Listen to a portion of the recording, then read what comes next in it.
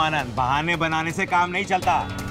पैसे लिए हैं तो समय पे लौटा देना चाहिए था। सेठ जी मैं तो अपना ही घर बड़ी कठिनाई से चला पा रहा हूँ। आपका ऋण कहाँ से दूँगा? कल्याण पैसे वाला क्या हुआ? वो तो गाँव के लिए अभिशाप सिद्ध हो रहा है। और अब तो पानी सर से ऊपर हो गया है।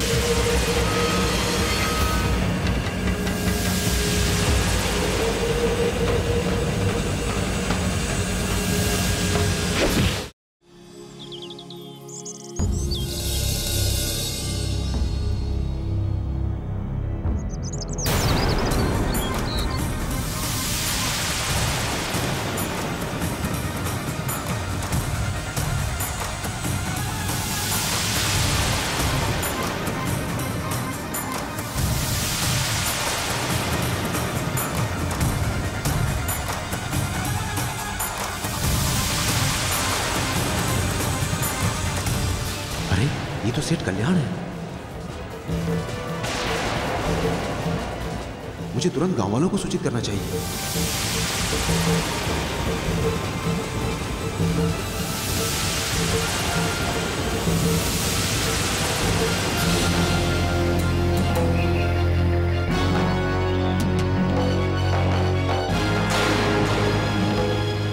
जैसी करनी वैसी भरनी। सेठ ने न जाने कितने लोगों की आत्मा को दुख पहुँचाया। देखो, आज इसे अपने किए का दंड मिल गया। क्या करें? हमने तो समझाने का बहुत प्रयत्न किया। लेकिन इस पर तो पैसों का ही बहुत सवार था।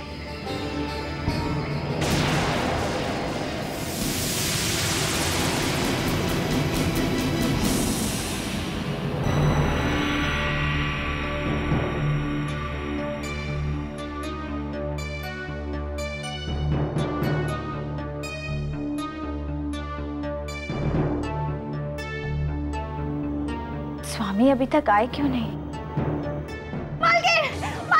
गया।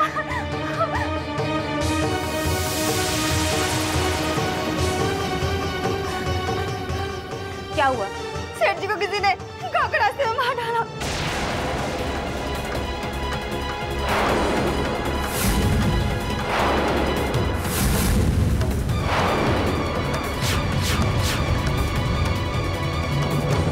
ये तू क्या कह रही है? ऐसी अशुभ बात तेरी जिब्या पे आई कैसे?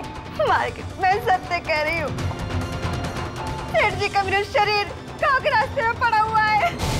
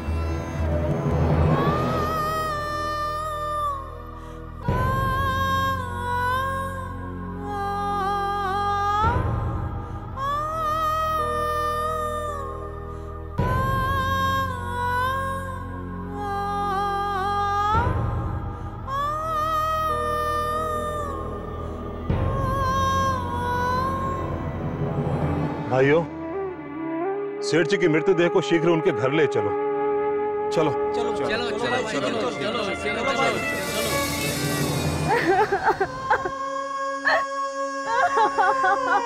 मालकिन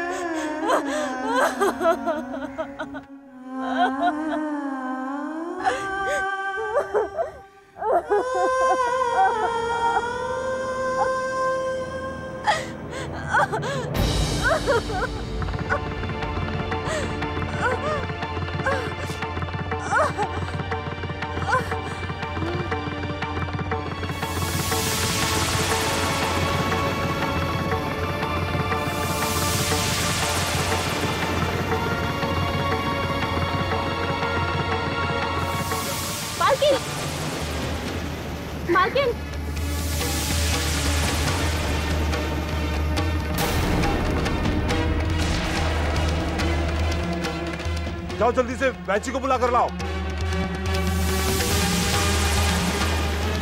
मालकिन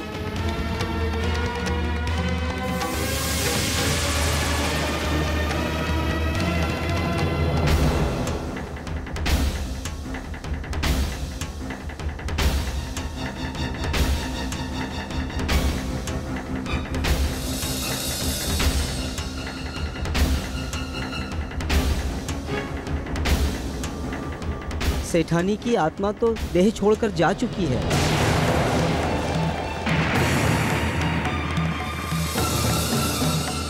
इनके प्राण पखेरु तो उड़ चुके हैं।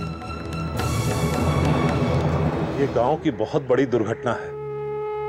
कल्याण सेठ के परिवार में केवल बल्लाल ही बचा है। जाओ उसके पास जाओ और उसे यहाँ लेकर आओ, ताकि विधि विधान से वो अपने माता पिता का अंतिम संस्कार कर सके। जाओ उससे बुला कर लाओ। जो जो आज्ञा मुखिया जी।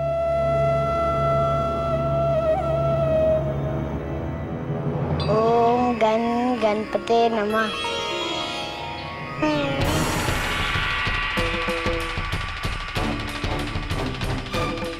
ओम गण गणपते नमः। ओम ओ बल्लाल ओ बल्लाल बेटा।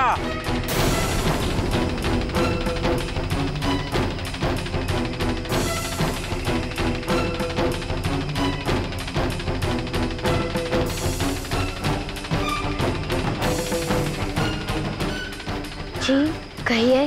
शीघ्रता करो। घर चलो। क्यों? क्या बात है?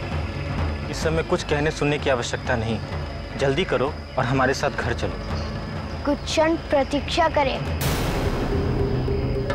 मैं भगवान विनायक की आज्ञा लेकर आता हूँ।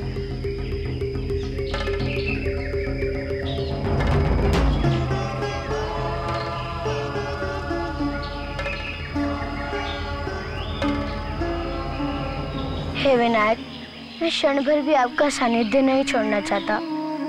किंतु ये लोग मुझे अपने साथ ले जाने के लिए इतने उतावले क्यों हो रहे हैं? मेरा मार्गदर्शन करें प्रभु। मैं क्या करूँ? वत्स बल्लाल।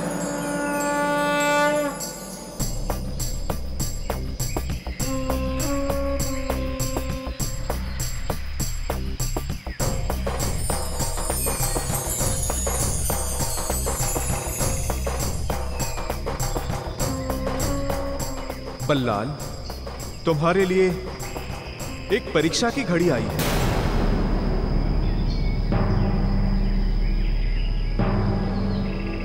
तुम्हारे माता पिता का देहांत हो गया है।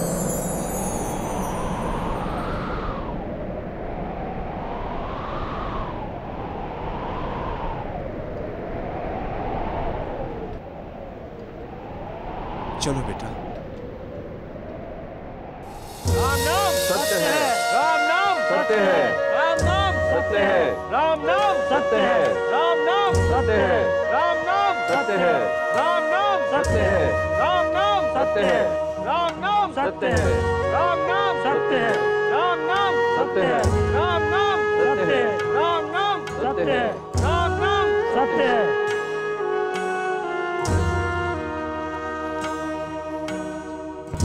हर एक युग का सत्य यही है जीवन है तो मृत्यु भी है है आरंभ तो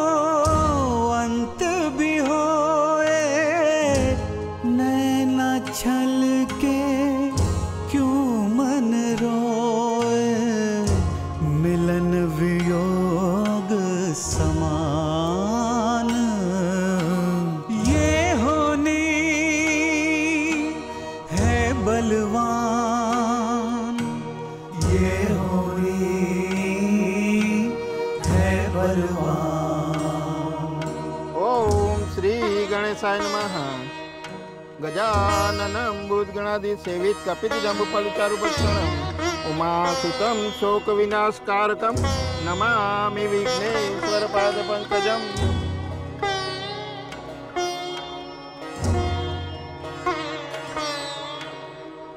जितने जिसकी आयु रेखा, उसने उतना ही जग देखा श्वास गणित है, सीधा सादा।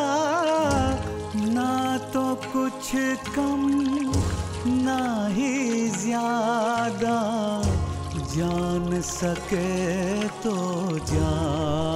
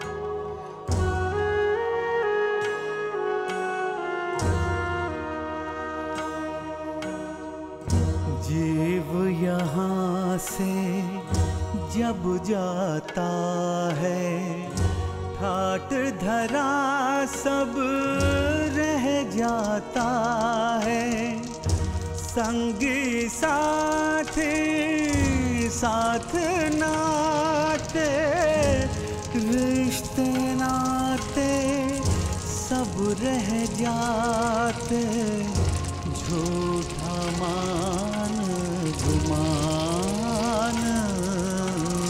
ये होने है बलवान ये होनी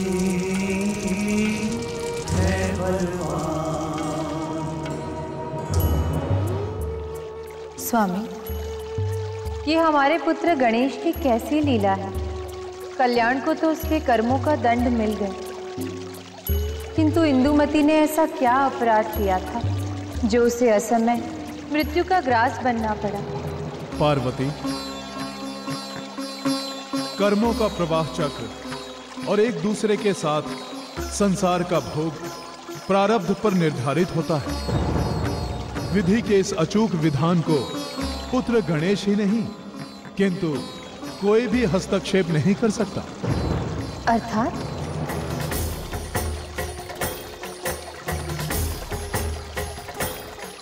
इंदुमती और कल्याण के शरीर छोड़ने का समय आ चुका था और अगले जन्मों में अपने कर्म भोग चक्र को पूरा करने के लिए उन्हें नए शरीर धारण करने क्रिया और प्रतिक्रिया का चक्र मनुष्य को जन्म जन्मांतरों तक कर्म भोग के लिए जीवन मृत्यु की डोर से बांधे रखता है। इसे ही भव बंधन कहते हैं। स्वामी भवबंधन से मुक्ति का कुछ तो उपाय होगा। पार्वती जब मनुष्य अपने कृतत्व के अहंकार से मुक्त होकर निष्काम भाव से जो कार्य करता है उसे कर्म बंधन नहीं होता है। इसके अतिरिक्त, ज्ञान की अग्नि, समस्त कर्म और कर्मों के संग्रह प्रारब्ध को भस्म कर देती है। और मनुष्य कर्म भोग चक्र से मुक्त हो जाता है। इसी प्रकार, ब्रह्म विद्या के साथ, योग की उच्च स्थिति को प्राप्त करके, योगी समस्त संसार चक्र से मुक्त हो जाता है। योग की उच्च स्थिति कैसी होती है, देव? पार्वती, जब मनुष्य अनात्म पदार्थों से चित्त को हटाकर आत्मा में स्थिर हो जाता है तो उसे योग की उच्च स्थिति प्राप्त हो जाती है। पर से हटकर स्व में स्थित होना और परिधि चक्र से मुक्त होकर केंद्र में अवस्थित होना ही योग साधना है। जो योगी इस रहस्य का साक्षात्कार कर लेता है। वो भवबंधनों से मुक्त हो जाता है।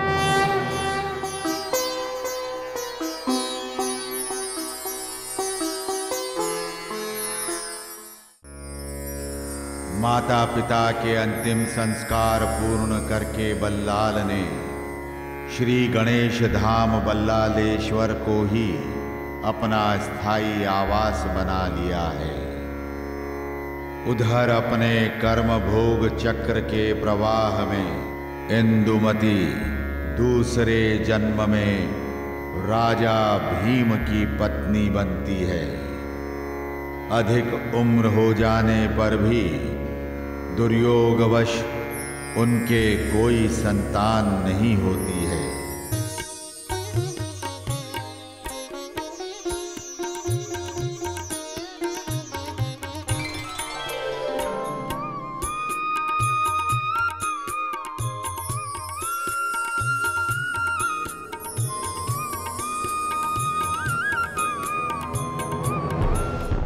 सदैव प्रसन्न रहने वाली रानी आज इतनी उदास क्यों है?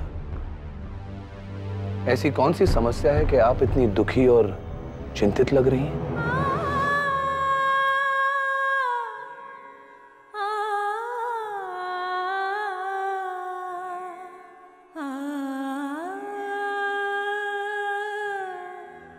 कुछ नहीं स्वामी। कोई बात नहीं है। प्रिय अवश्य ही कोई गहरी बात आपके मन में घर कर गई। आप कृपया निसंकोच होकर हमें बताएँ। हम आपके पति ही नहीं सभी भांति सधर्मी भी हैं। स्वामी हमारे विवाह को इतना समय बीत गया है। किंतु किंतु क्या प्रिय कृपया अपनी मन की बात हमें बताएँ। स्वामी। संतान के अभाव में नारी से अधिक दुखी और कौन हो सकता है? आपके साथ रहकर मैं सभी प्रकार से सुखी और प्रसन्न हूँ। किंतु मातृत्व लाभ के बिना मेरा स्वयं का जीवन। सुना सुना है। हमें क्षमा कीजिएगा महारानी। राज्य के कामकाज और प्रशासन में हम इतने व्यस्त हो गए कि हमने आपकी भावनाओं पर ध्यान नहीं दिया। पर हम आपसे वादा करते हैं शीघ्र ही इस बारे में कुछ प्रयत्न करेंगे। आप क्या प्रयत्न करेंगे स्वामी? हम भी तो जाने। हमें हमारे कुल गुरु के शरण में जाना होगा। वो हमारे लिए अवश्य कोई ना कोई उपाय करेंगे। जो कुछ कर्म हम पिछले जन्मों में करके आए हैं। या अभी कर रहे हैं। वे ही कालांतर में प्रतिफलित होते हैं। मेरा आपको एक परामर्श है। इस समय आप बालक के भविष्य के बारे में कुछ भी ना पूछें। अगर मेरे पति देव होते ये डाकू तो क्या? किसी राज्य की सेना भी मेरा कुछ अहित नहीं कर पाती। राजा के उत्तराधिकारी की लालसा में ये मैंने क्या संकट मोल ले लिया?